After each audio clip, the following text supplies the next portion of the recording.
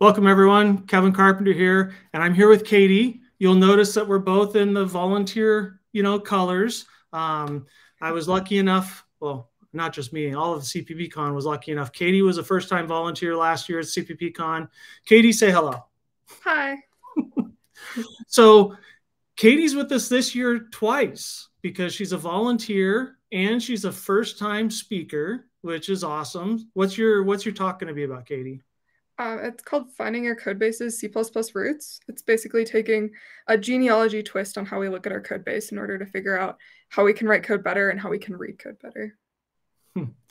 That reminds me of a project that I was working on uh, at the last company I was at. Because when I think of, you know, I was reading the description where you're talking about how you can, you know, how everybody comes in and they touch the code and it kind of changes.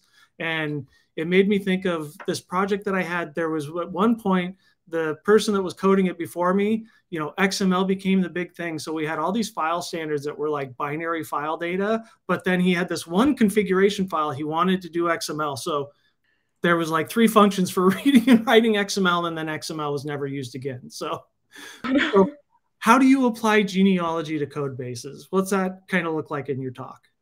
Yeah, so it's kind of taking the idea that like when you look at genealogy, you're trying to find the people of the past and understand kind of the story of how how your family got to where they're at now. And so it's taking that and trying to figure out how our code base got to where we're at now. And then since we don't have all that information, how do we read code and figure all that out? But also like how do we compile our information now so that way when you go a couple years out, a couple months out, you can actually look back at the code and figure out kind of how we got here using kind of those same techniques that's that's cool. And I know that you're down for like Friday. So, you know, as a first time speaker, I'm going to joke with you. That's, you know, that's the blessing and curse, right?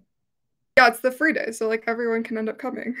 Well, it's it's that, but it's like so for me. I so when I did my talk in Israel this year, I was the first up after Bjarne, and I was so happy because I did not stress the rest of the conference about having everything done on my talk. So so as much as I know you're volunteering this year, I know you'll be working on slides. I'm trying to get them all ironed out a little bit sooner so that way I can enjoy the conference as well as be ready to give my talk. That's awesome. So volunteering, what was your favorite part about volunteering last year? Because it was your first year, right? Yeah. Yeah, I think it's definitely that I got to talk to a bunch of people who I wouldn't have ended up talking to like when you go to the conference, I feel like there's this tendency to go from one thing to the next thing to the next thing. Yep. And with volunteering, you're kind of forced to interact with different people who you wouldn't expect to interact with. And that kind of gives you a really good platform to talk to people who have different perspectives about C, about what they're doing, kind of learn from getting to communicate with different people, which is really valuable and helpful. That's that's awesome that you said it that way. And I wanted to ask first before I related because my first volunteering for CPPCon was 2018. And I just started with a new company. I didn't want to ask them to send me. And so, you know, volunteers, if you want to come volunteer at CPPCon, uh, as a volunteer, we cover your ticket. You still have to take care of your hotel and accommodations, but um, that was the whole thing. Like I'd been to CPPCon three years prior.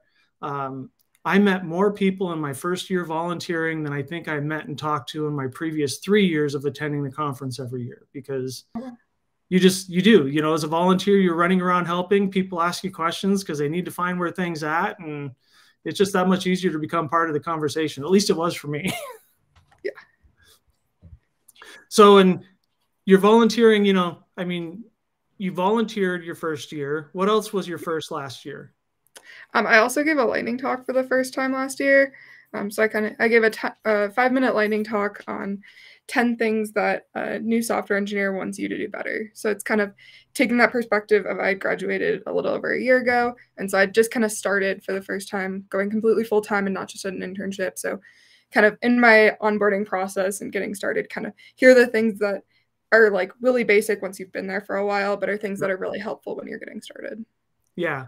And so even though we're talking about CPPCon, I have to say like Katie did so good at CPPCon that we ended up having her volunteer at C++ now, where then you gave a follow-up lightning talk, which was, you know, everybody really loved that one too, where you did the next 10 things, right?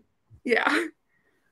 So I just got to say, like, this is the trifecta. You had two lightning talks starting out. Now you're getting picked for a full talk. Like, this is really exciting for you. It's really cool. I Thank you.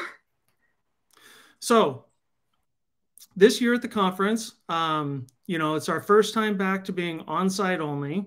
We're going to be a little bit different location because we're downstairs this year. Um, new stuff for the store, lots of book signings. What are you looking forward to for this year besides giving your talk? Definitely getting to go to some different talks and kind of adding another year of experience and kind of getting to see some of the new stuff coming up in C, as well as kind of solidifying some of those basics that I've gotten to use a little bit and see a different perspective on how you use those things. Right on. Well, we're a little less than three weeks out, so really excited to to get this thing going. Is there anything you'd recommend for somebody that wanted to be a volunteer? I definitely think just sign up. Um, there there is some flexibility with like timing and you do get to figure out like if there's a talk you really want to go to you'll figure out how to end up most of the time end up going to that talk. So there is that ability to still see what you want to see but it also gives you that ability to get to talk to people you never expect to talk to um, and get to actually end up talking with potentially some of the speakers and get to really interact with the community and make a ton of friends and end up kind of growing with the community which is really great. Yeah i i will say that is probably my favorite part about doing the the conferences is just you get to meet everybody and hang around and see everyone. And so you're local to the Denver area, right? Yeah. And so I I of course already knew that, but I wanted to bring it up because if you are local to the Denver area, and we know a lot of the people from the meetup are are coming already, but volunteers, you know, we have a way to help with parking and everything else. So, you know, if you were thinking of coming on Friday for the free ticket, you know, you can get a ticket for all week long if you come and volunteer with us. So always a good option. All right. Well, anything else before I let you go and get back to working on slides, which I know you say you're just fine on? I don't think so. Just hopefully we see everyone in Colorado. Looking forward to seeing everybody October 1st to the 6th. If you haven't registered, make sure to get registered and we will see you all at the conference. Look forward to seeing you there, Katie. Thank you. Look forward. Yep. Thank you. Bye. Bye.